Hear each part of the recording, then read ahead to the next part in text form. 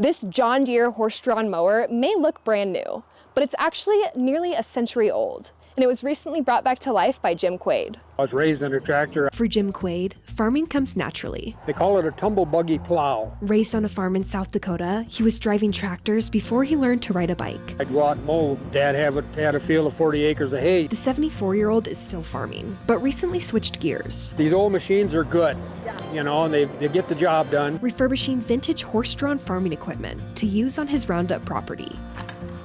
This is a lot slower, but it's so much more peaceful, and you get connected with nature so much more. He recently finished up this John Deere Big Four mower that he suspects to be nearly a century old. It's 80, 90 years old. But his restoration projects go way back to when he was living in Madison, South Dakota, working maintenance at a manufacturing company. I got a hold of an old McCormick Deering Big Six mower at the time, and I got that working. He ended up moving to Buffalo, Wyoming, where he lived for 13 years before moving to Roundup nearly seven years ago. Well, after the hay gets cut, spread it on there again. Now his property is full of vintage farming equipment, waiting to be brought back to life. The wheels don't turn or nothing, so I, I do plan on redoing those. He keeps most of what he restores, but recently found others have interest in purchasing his projects. This one I have sold to a guy down in southern Wyoming. Which is simply an added bonus for the man who loves to stay busy. And see it, I had to beef it up because it cracked right there. Always got to have something to do. Whatever it takes to get her done, I get her done, usually. In Roundup, Kelsey Boggs, MTN News.